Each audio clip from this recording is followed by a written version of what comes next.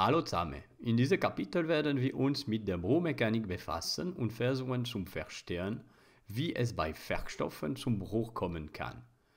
Wenn wir zum Beispiel an diesen Kristall ziehen, dehnen sich die Feder oder die Atombindungen. Nach und nach steigt bei mehreren davon das Risiko eines Bruchs und schlussendlich ist es möglich, dass alle Atombindungen einer Ebene brechen. Wenn dies eintritt, haben wir zwei Teile statt nur eines Teils. Zum Einstieg berechnen wir die Bruchenergie, die wir aus dem vorherigen Modell kennen, Federn, um zu prüfen, ob dies übereinstimmt mit den Werkstoffen, die wir kennen. Wir stellen eine erste Hypothese auf. Wir haben einen perfekten elastischen Werkstoff, der sich nicht plastisch verformt. Weiter nehmen wir einen makellosen Werkstoff an.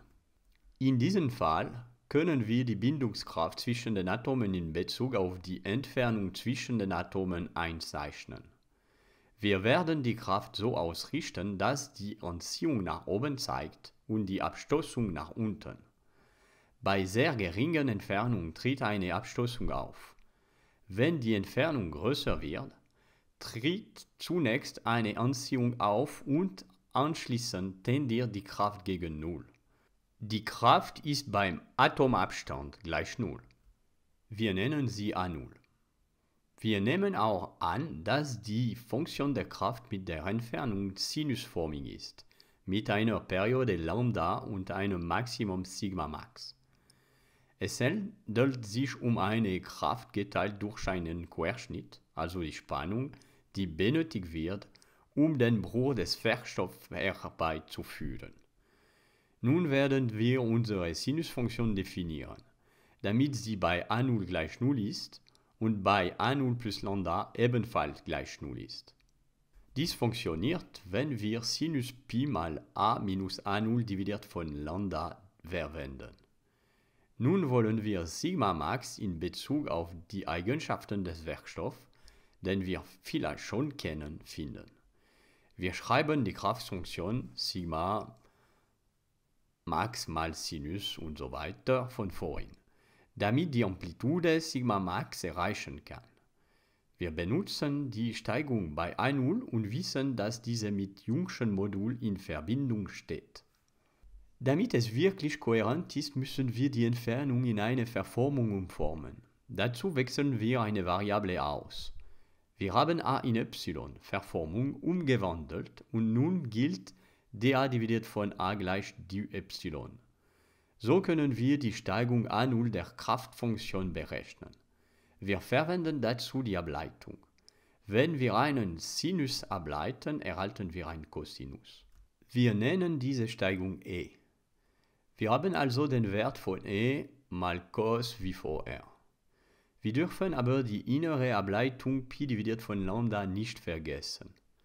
Wenn wir den Wert bei A0 oder Epsilon gleich zu 0 verwenden, erhalten wir die folgende Formel. Wir haben also eine Beziehung zwischen Sigma Max und einer Werkstoffeigenschaft, dem Jungschen Modul, gefunden, haben aber immer noch ein Problem, da wir Lambda nicht kennen.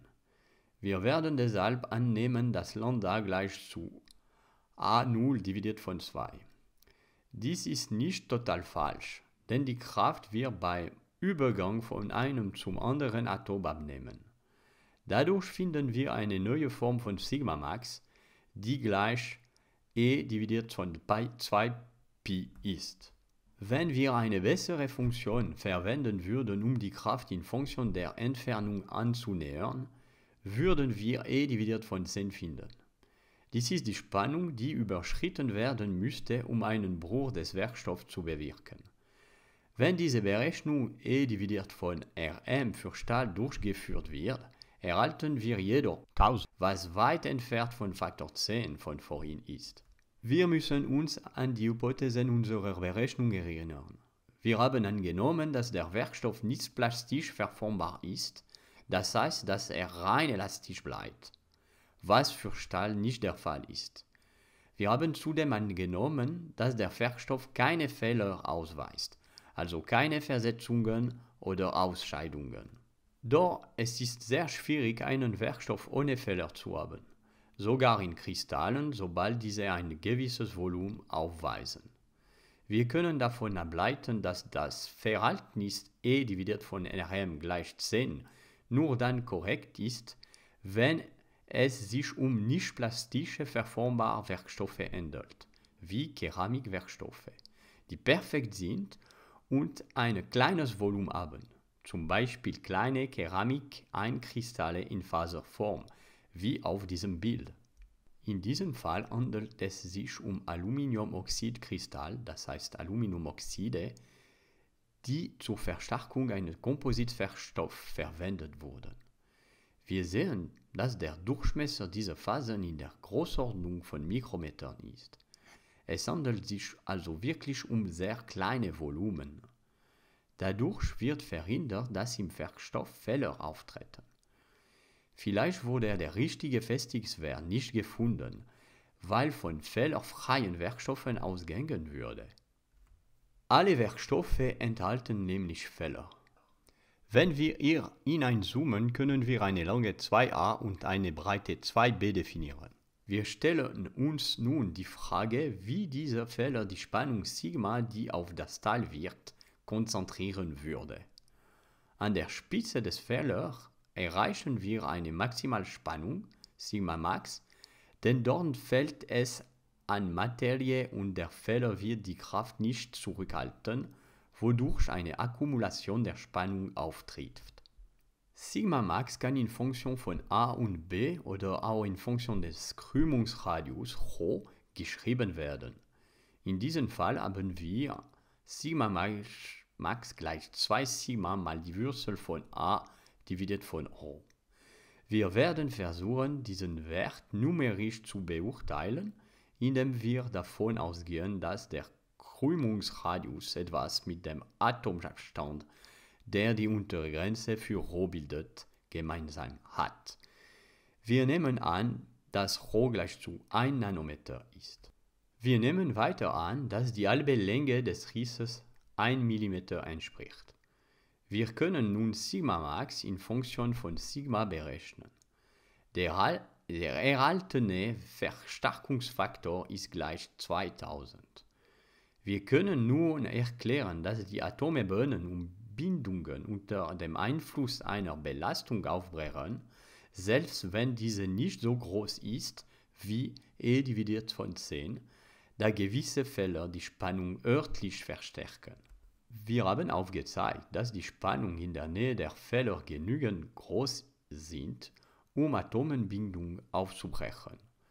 Doch wir müssen auch aufzeigen, dass es für den Werkstoff energetisch gesehen interessant ist, den Riss in seinem Innern auszubreiten, dass dies schlussendlich das Gleichgewicht wiederherstellen und seine innere Energie verringern wird. 1920 hat Alan Griffiths ein Rissmodell aufgestellt, das von einem Werkstoff ausgeht, auf den eine Spannung Sigma wird und der an der Oberfläche einen Riss der Länge a aufweist. Wenn sich dieser Riss ausbreitet, entsteht ein Bereich, in dem die elastische Energie freigesetzt wird. Mit der Ausbreitung des Risses werden die Atombindungen im freigesetzten Bereich gelöst. Dadurch wird die elastische Energie der Federn freigesetzt.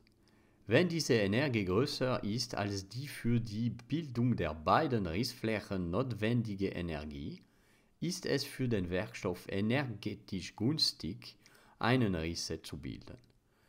Die freigesetzte elastische Energie hängt vom Volumen des Bereichs und somit von Pi mal a, Länge des Halbkreises, mal Delta a, Fläche des Halbrings, mal E, Dicke des Werkstoffs ab. Dieses Volumen wird mit der bekannten elastischen Energiedichte einer Feder oder eines Werkstoffs multipliziert, die gleich Sigma hoch 2 dividiert von 2e ist. Pi a mal a mal dA mal E ist das Volumen.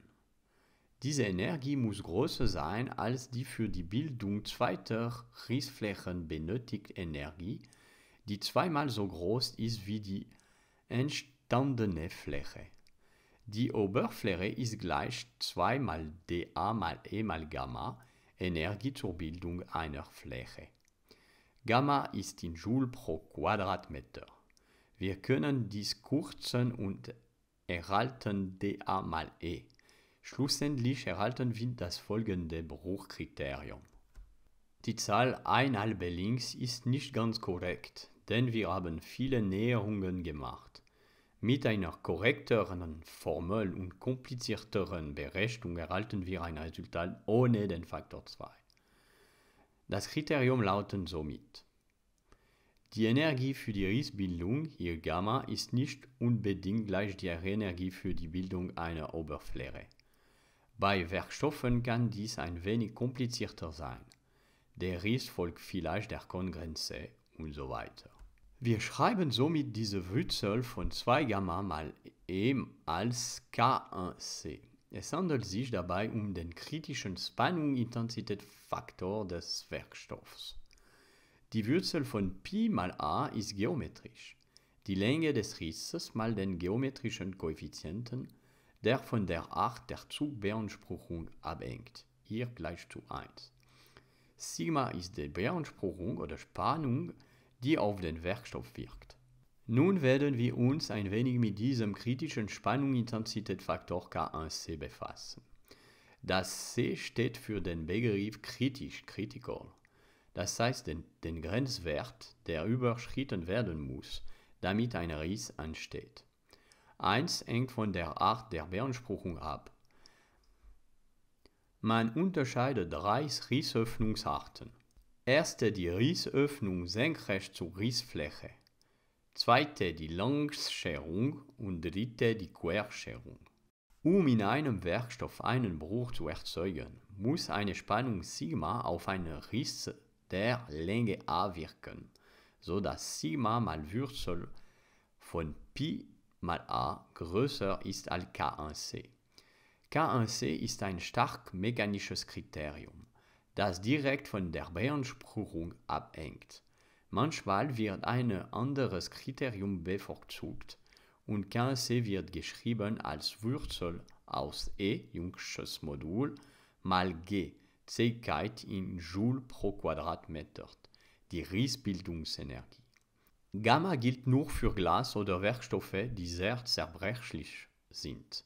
Wenn Körner vorhanden sind und der Risse entlang der Korngrenzen erfolgt, hat G einen ganz anderen Wert als Gamma.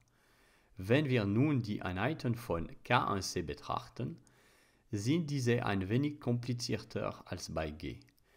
Wir werden Megapascal mal Quadratwurzel von Millimetern haben. Man muss aufpassen, denn manchmal wird K1C in Megapascal mal Quadratwurzel von Metern angegeben. Dann muss ein Proportionalitätsfaktor angewandt werden. Das heißt, es muss durch die Wurzel von 1000 geteilt werden, um von Wurzel von Millimetern zu Wurzel von Metern zu gelangen. Wie vorher erwähnt, hat die Zähigkeit G einfache Einheiten, Kilojoule pro Quadratmeter. Das heißt Energie pro Quadratmeter entstandener Fläche. Es ist interessant, die Zähigkeit in Funktion der Zugfestigkeit für verschiedene Werkstoffe zu untersuchen. Denn die Zähigkeit ist die Rissfestigkeit und RM die Festigkeit gegenüber der plastischen Verformung. Wir sehen hier, dass Metalle oft den besseren Kompromiss für diese beiden Parameter erzielen. Metallschäume sind natürlich weniger beständig.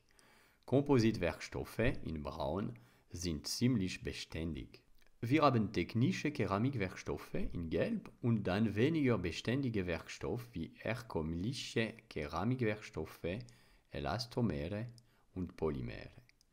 Die mechanische Festigkeit kann mittels Zugversuchen einfach gemessen werden. KNC hingegen ist schwieriger zu messen.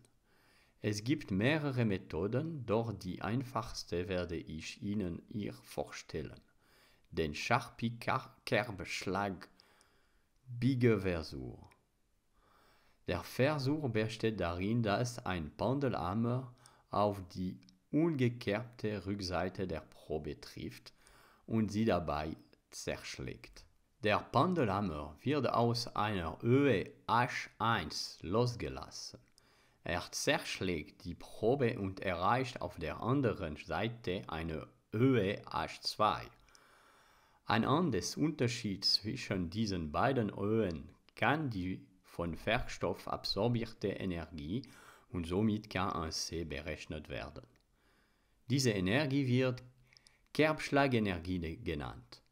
Sie ist gleich der Masse des Pendelshammer mal die Gravitationskonstante g mal den Höhenunterschied. Die Einheiten entsprechen einer Energie, denn wir haben eine Masse multipliziert mit einer Beschleunigung, das heißt eine Kraft mal eine Distanz. Dies entspricht Joule. Bei gewissen Werkstoffen, zum Beispiel Metallen, stellt man je nach Temperatur einen Übergang von duktil zur Spröde fest. Die Kerbschlagenergie CW ist bei geringer Temperatur klein und nimmt mit steigender Temperatur zu. Dies ist zum Beispiel der Fall für kubisch raumzentrierte Metalle. Die Übergangstemperatur kann auf verschiedene Arten definiert werden. Es kann zum Beispiel bestimmt werden, dass diese Temperatur einer Energie von 27 Joule entspricht. Bei kubisch flachen zentrierten Metallen treten keine solchen Übergänge auf. Die bei Ausstoff absorbierte Energie hängt von der kristallographischen Struktur und der plastischen Verformungsfähigkeit dieser Werkstoffe ab. Das heißt der Fähigkeit dieser Werkstoffe, Versetzungen zu enthalten und diese zu verschieben. Wie Sie wissen, gibt es in kubisch raumzentrierten Strukturen weniger Möglichkeiten, dass Versetzungen austreten. Es gibt weniger Ebenen und Gleichrichtungen als in kubisch flachen zentrierten Strukturen. Diese Gleichrichtungen und Ebenen müssen thermisch aktiviert werden. Bei geringen Temperatur haben kubisch raumzentrierte Metalle eine schlechtere Schlagfestigkeit als flächenraumzentriert. Dieser Unterschied ist auch auf dem Spannung-Dehnungsdiagramm ersichtlich, zum Beispiel bei minus 20 Grad, wo das kubisch raumzentrierte Metall sehr spröde ist. Wir werden sehen, dass beide Stellen natürlich denselben Jungschen Modulus haben, aber die Verformbarkeit nicht dieselbe ist, die von der plastischen Verformung absorbiert Energie. Diese ist für kubisch raumzentrierte Metalle kleiner.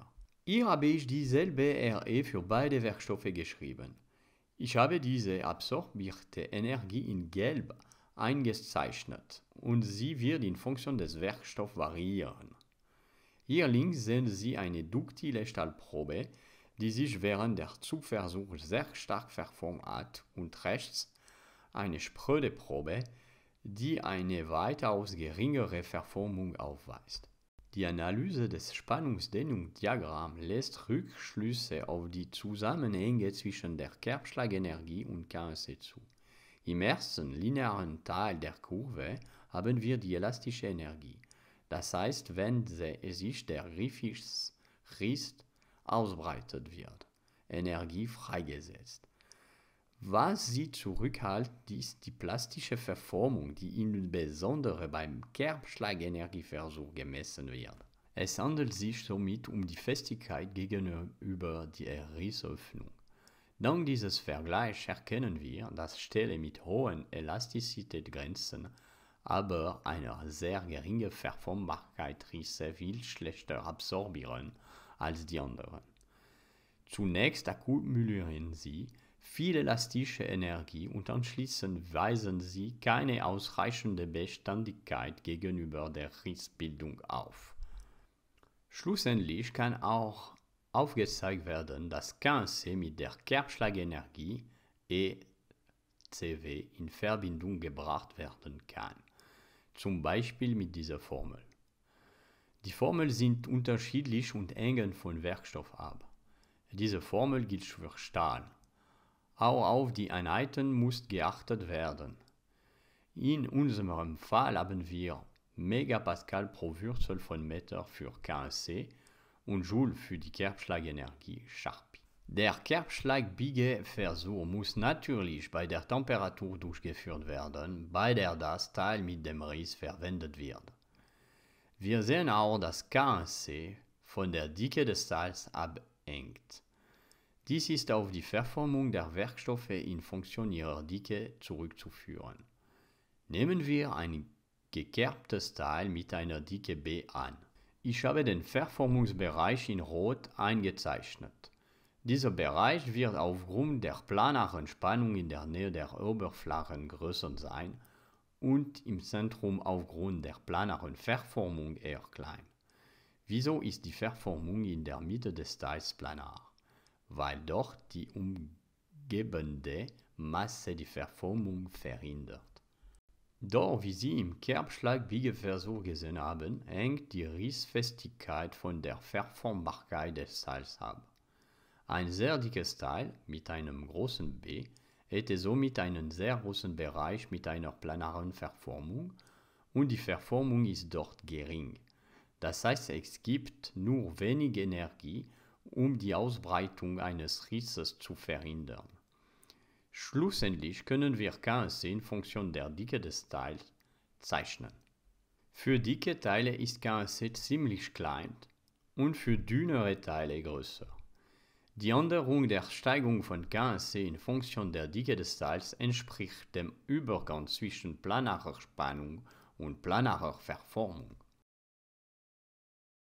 Vielen Dank, dass Sie dieses Video geschaut haben.